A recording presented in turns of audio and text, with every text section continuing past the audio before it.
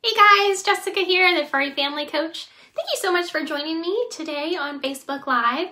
Um, if you would put your name and um, if you can hear me in the comments, I would really appreciate it. Hey Kimbo, hey baby. Kim wants to go to lunch. I'm running a little late today and she wants to go go for a car ride.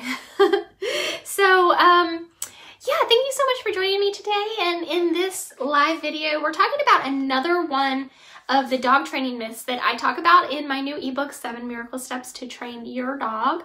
Um, you can grab your copy right here, bit.ly slash seven steps dog training. If somebody could post that in the comments for me, I would really, really appreciate it because I can't, I can't comment, I don't think, while I'm live.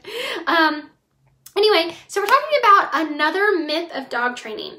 Um, and this is something so many dog trainers still do and it's so frustrating because it's harming your dog, it's harming the relationship that you have with your dog, it's harming um, the trust that your dog has in you um, and other humans because other humans are also doing this to them.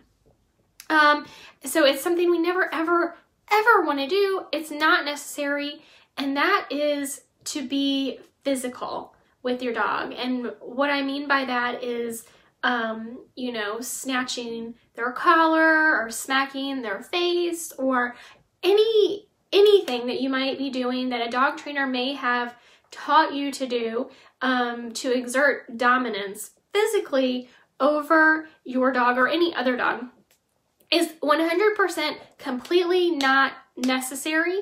Um, it's cruel, it's inhumane, and there are so much better ways to train. Um, using positive reinforcement. And that is kind of one of the foundations of force-free training is to not be forceful with your dog, to not you know, physically exert dominance over them. Is something we never want to do with our dogs. Um, and here's why. So put yourself in this situation. Think about when you were growing up. Now, this may have happened to you, this may not have happened to you, and of course, there's a whole spectrum of, you know, uh, levels of, of violence, obviously. But imagine, um, imagine you're growing up, you're a little kid, and one of your parents, one of your aunts, one of your uncles, what whoever it may be, um, instead of showing you the proper way to do something. So let's say they're teaching you how to write, you know, write the alphabet, how to how to write. Um, just going through the alphabet and learning how to write all the letters. And instead of showing you how to properly do it, they give you a pencil and a piece of paper, and when you can't figure it out, they smack you upside the head. That's basically, that's what you're doing when you are physically exerting dominance over your dog. What's going to happen to that child? First of all, they're going to be fearful. Um, they're probably going to, um, you know, become introverted and turn into themselves. They don't want to be around people. They think everybody is going to be physically abusive to them. Um, relate, they, they are going to have a problem building relationships because they have trust trust issues. These are all the same things that are gonna that are happening with your dog if you're being physically dominant with your dog. Um, they're going to not properly learn the how to write right the alphabet. They're going to continue getting hit. They're going to um, uh, again, you know, have trust issues. They're going to have so many emotional problems as well as they're not actually getting um, they're not learning what they're supposed to be learning. And what's going to happen is that instead of getting better, instead of building trust and learning how to build relationships, um, they are going to seek ways, any way they can, to avoid that physical violence.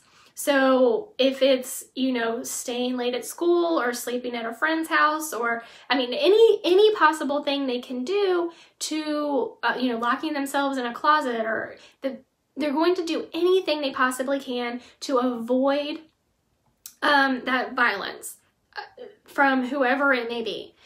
And at some point, that child is going to grow up and they're going to leave the house. Um, they may even lash out at that person in, in retaliation um, physically if they are, you know, feel strong enough to do so. So all of these things are going to happen. Now, your dog can't necessarily leave the house. I mean, they may break out and, and run away, but um, all of these same things are happening in a dog when you physically exert violence over them, um, or you're violent and you physically exert yourself over a dog. So all of these things are still happening in your dog. They're they're not learning how to build trust and build relationships, so they're not going to have trust in you.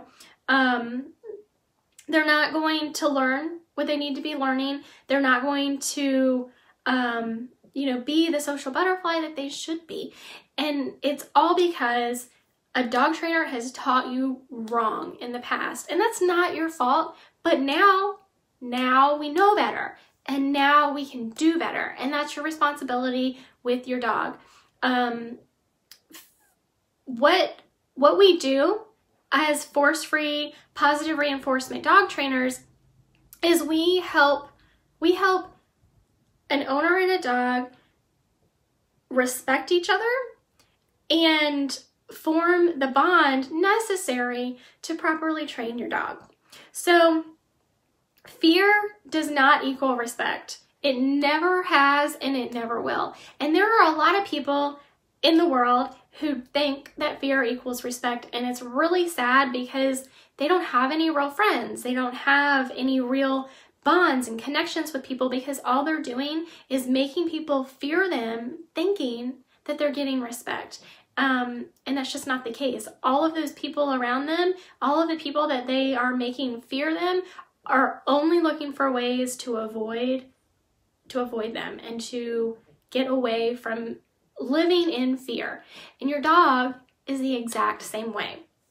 Um, so you cannot fear does not equal respect and what we want to do is um, earn your dog's respect and in return have your dog respect you. So that's how we, we why we use uh, positive reinforcement to mold and shape behaviors in our dogs. Um, and positive reinforcement is, you know, you have a behavior or an action that is your goal. And as you work towards that goal and your dog is um, getting it and starts doing the things you want them to do, um, you reward that with something positive for the dog, something of value to the dog. A lot of times that's a treat. Um, for some dogs, it's playing or a, a, one of their favorite toys. Um, it can be just love and cuddles and being petted. A lot of dogs are, are very highly motivated by that kind of uh, reinforcement. But again, a lot of times we do use treats and foods because it is one of um, uh, the, uh, one of the primary reinforcers. So uh, that's how we do it. We use positive reinforcement to mold and shape behaviors and using um, being physically assertive to your dog is a complete myth. It is completely unnecessary and actually in the long run will backfire on you. So um, this is just one of the myths of dog training that I talk about in my new ebook, Seven Miracle Steps to Train Your Dog. Please go grab yourself a copy. You won't be disappointed. It's only like five bucks. Um, go grab your copy, bit.ly slash seven steps dog training. And thank you so much for typing that in the comments. I see somebody has typed it. Thank you so much. I really appreciate it. Um, and if you have any if you have any questions about dog training, dog behavior, we can talk about cats. Got a lot of information on them too. Um, nutrition for your dogs and cats. I love talking about that. It is super important. Any questions you may have, please leave them in the comments below. I would love to answer your questions and possibly even make a video to answer that question for you. Um, yeah, so with that, I'm gonna go ahead and end this live video. Make sure you give this video a big thumbs up if it helped you. If you like it, share it with your friends because we all know somebody who needs this information in their life um, to better their life, to better the relationship between them and their dog. And uh, follow me on social media. And again, thank you so much for being here with me today. I really appreciate it. I will see you in the next video.